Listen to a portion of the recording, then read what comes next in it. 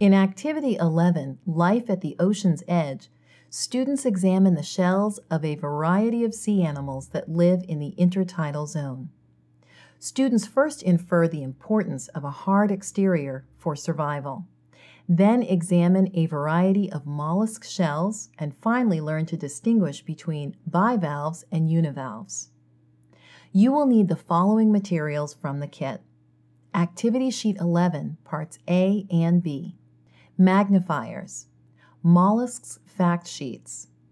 Bags of assorted mollusk shells. Sets of bivalve mollusk shells, clam, oyster, and scallop. And sets of univalve mollusk shells, auger, Babylon, button top, frog, moon, and olive. You will also need to provide pencils, clams or mussels, boxes of crayons, sheets of white paper, and pictures of coastlines. To prepare for the activity, make a copy of Activity Sheet 11, Parts A and B, and the mollusk fact sheets for each student. Collect pictures of different types of seashores to show sandy, rocky, muddy, and marshy coastlines. You may also want to buy clams or mussels to show students what the animal looks like inside its shell. Each team will need two magnifiers, a box of crayons, and a sheet of white paper on which to place the shells. To begin the activity, distribute the pictures of coastal areas and have students describe the types of shorelines. Inform students that the area where the ocean meets land is called the intertidal zone and that the intertidal zone is a habitat teeming with life. The organisms that live there have adapted to their environment in remarkable ways. In this activity, students will learn how some soft bodied animals can thrive in such an abrasive environment. Divide the class into teams of four and distribute a bag of assorted shells, four magnifiers, and two sheets of white paper to each group of eight. Note that in this activity, teams will work together and share specimens. Tell students to empty the bag of shells onto one sheet of paper and give them a few minutes to examine each shell. Ask students what are shells and where do they come from? Students probably know that shells are the hard remains of once living sea animals. Explain to the class that the animals who lived in these shells are called mollusks, which means soft bodied. Ask students, what purpose do you think the shell of a mollusk serves?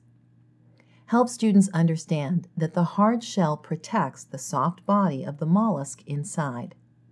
Just as our skeleton is on the inside and gives our bodies form and protects our vital organs, mollusk skeletons are on the outside. Their external skeleton, or exoskeleton, is their shell, which serves to protect the soft body of the animal that lives inside it. Next, ask students to sort through their shells and separate the flatter shells from the spiral or cone-shaped shells.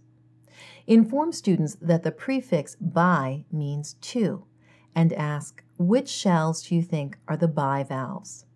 Students may recognize that the flatter shells occur in pairs help the class understand that bivalves are mollusks with two shells and that the two hinged shells fit together and can be opened and closed by the animal that lives between them.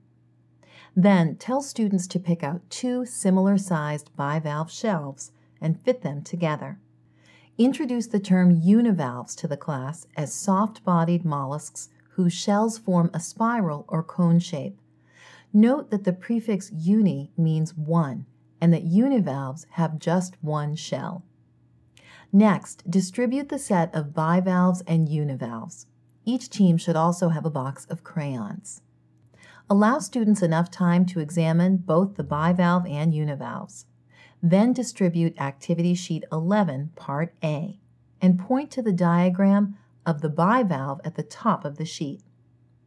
Tell students that bivalves use muscles to open and close their shells, and that bivalves open their shells to let in food and water and close them to rest or to protect themselves.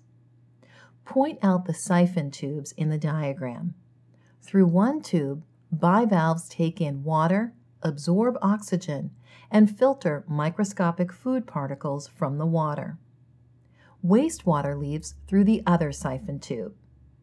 Add that most bivalves live in sand or mud, although some attach themselves to rocks and pilings. Most bivalves move by extending and contracting their large muscular foot. However, some can move through a kind of jet propulsion by opening and then clamping shut their shells. Finally, introduce the class to the term beds, which refers to colonies of bivalves. Next, distribute a copy of the mollusks bivalves fact sheet to each student and review the descriptions of each type of shell. Have students match the shells in their sets to the descriptions on the fact sheet. Then have them draw an outline of each shell and label it. Next, draw students' attention to the univalves, also known as gastropods. Inform the class that gastropod comes from the words that mean stomach and foot. Note that all univalves are gastropods, but not all gastropods are univalves. For example, the slug is a gastropod, but not a univalve. Gastropods are abundant and diverse, outnumbered in the animal kingdom only by insects. Distribute Activity Sheet 11, Part B, and point to the diagram of the univalve at the top of the activity sheet. Describe the univalve to the class as having a well-developed head with eyes, a mouth, and tentacles, just like ordinary pond or land snails. Note that these organisms also have a rough, scraping tongue called a radula, which they use to shred vegetable or animal matter. Inform students that many univalves live among rocks and coral reefs, while others dwell in the shallow water along sandy shores. Like bivalves, they have one or more siphon tubes and move by extending and contracting a muscular foot. To protect themselves, they retract their soft bodies into their shells and seal the opening with a horny plug called an operculum. Distribute a copy of the Mollusks Univalves fact sheet to each student and review the descriptions of each type of shell with students. After each one, have students find and label the shell on their activity sheet.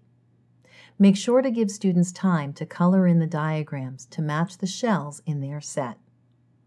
Finally, let students know that in the next activity, they are going to examine the skeletons of some other sea creatures. To conclude the activity, collect all of the shells and the magnifiers and return them to the kit. For science background, reinforcement activities, curriculum connections, and information about the Delta Science Reader, please consult your DSM Teacher's Guide.